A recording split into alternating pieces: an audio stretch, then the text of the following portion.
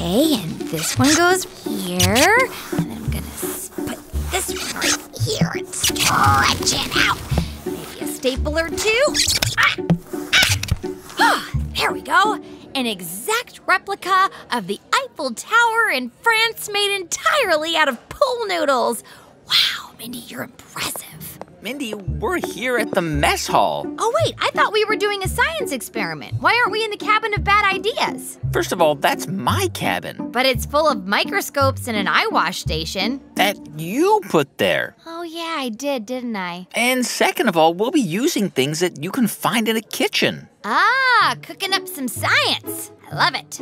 So, Mindy, you know how the water in an ocean is different than the water in, like, a freshwater lake? One has a lot of salt in it and the other one doesn't. Exactly. And there's another difference, too.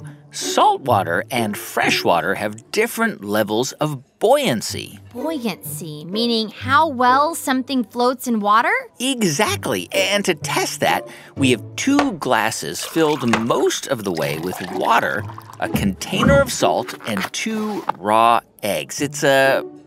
Uh. Wait for it. Eggs experiment. First, we want to add a good amount of salt to one of the glasses of water and stir it in. Okay. Now we have one glass of salt water and one glass of fresh water. Next, let's gently drop an egg into each glass. Okay. And, What did you notice? huh, well, the egg in the water is sitting on the bottom of the glass, and my, wow, the egg in the salt water is floating, Guy Raz! Yep. adding salt to the water makes it more dense. Meaning there's more molecules in the same amount of space. Makes the egg more buoyant. Meaning it can float more easily. Exactly. I gotta tell you, Guy Raz, these egg puns are terrible. Come on, can't you take a yolk? I'm let that one slide. Uh,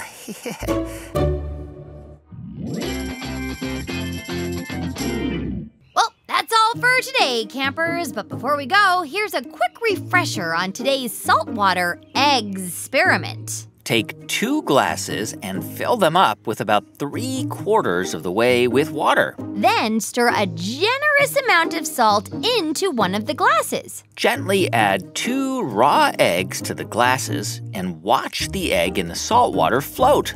Oh, and grown-ups, you can go to tinkercast.com slash camp to find printable, step-by-step directions to conduct your very own saltwater experiment at home.